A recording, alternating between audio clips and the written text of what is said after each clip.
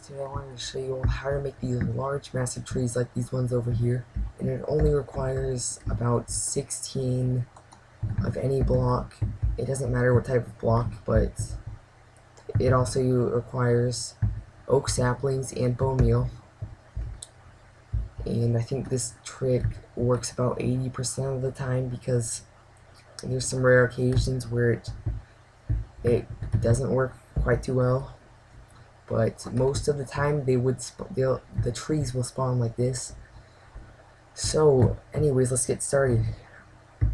So what you're gonna want to do is start off by placing down your oak sapling of course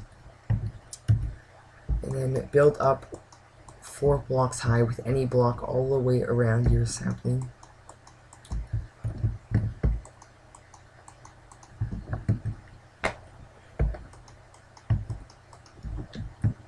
Now after that is done, you're going to want to make a hole right here. So you can feed through your bone meal.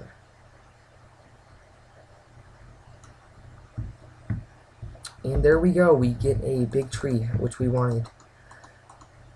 And these probably spawn most of the time, but there's, again, a rare occasion, well, it's not too rare, I mean, 20% of the time where trees will probably spawn smaller, kind of like that one and I just wanted to point out that this is an average sized looking tree and compared to these ones it is tiny.